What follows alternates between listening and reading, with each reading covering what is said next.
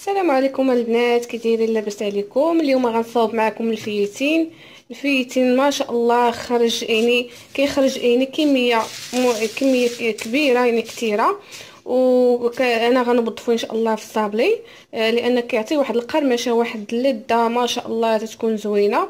وما فيش يعني دغيا كتصاوبي يعني ما كيطلبش واحد الوقت كتير.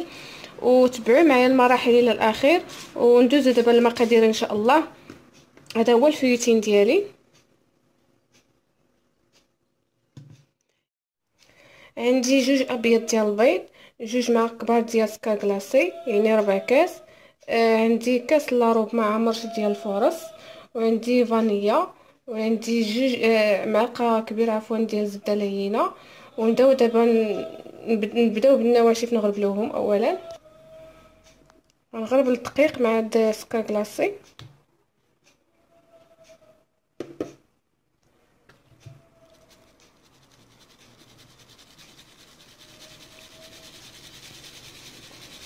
نضغطو على هاد الكوارات باش يبطو نزيدو ثلاث ساشي ديال الفاني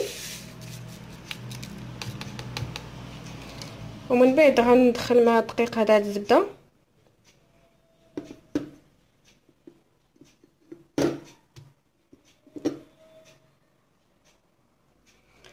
أنا ضفت ديك الزبدة في هاد الدقيق غير بيديا ومن بعد غنستعملو سباتي غنضيفو دابا هاد جوج بيض ديال البيض ونخلطو هاد العناصر مزيان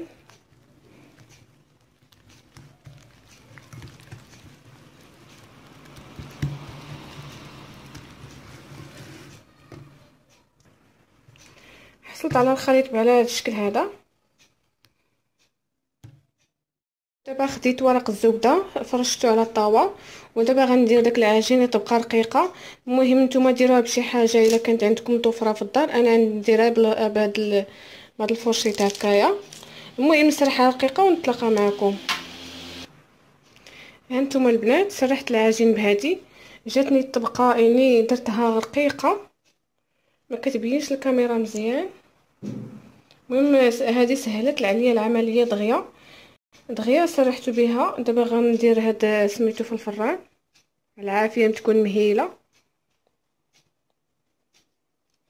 طبقه رقيقه يعني ما عرفتش واش كتبان لكم يعني ماشي كاع رقيقة بزاف. المهم دابا نديروه في الفران. وهذا هو الفيتين ديالي من بعد ما طاب صراحة جات طبقة مقرمشة. هانتوما كتشوفوه بسهولة كيتحيد من الورق ديال الزبدة.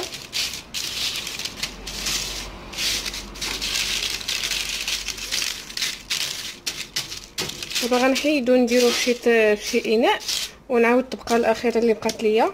حيت أنا عندي الطاوه كبيرة داكشي علاش درت جوج طبقات. هانتوما كت... كتشوفوا كنتمنى تفهموا الطريقة. يعني جا مقرمش روعه ما شاء الله. غنكمل الخلط اللي بقى ليا. ودابا راني سرحت الطبقة اللي بقات ليا فوق الورق. يعني كنستعملوا نفس الورق اللي استعملها في الأول يعني ما كيضيعش. ودابا غنديرو عاوتاني يطيب هي ديك الطبقه الأخيرة اللي بقات ليا أنا خرجتهم من الفرن صراحة كيجي مقرمش. سخون. وهذا هو الفيتين ديالي من بعد ما كملته بالطياب صراحة جا روعه روعه ما شاء الله. احسن لك أختي تصوبي في الدار احسن من انك تشري من زنقة. يعني ما فيهش الخدمة ما فيهش يعني كيطلب منك شي وقت كتير أو دغيا قسمين كتصاوبيه تبارك الله وكتخرج كتحصلي على نتيجة يعني زوينة ما شاء الله. أه وكنتمنى تجربوه إن شاء الله ويعجبكم. والسلام عليكم.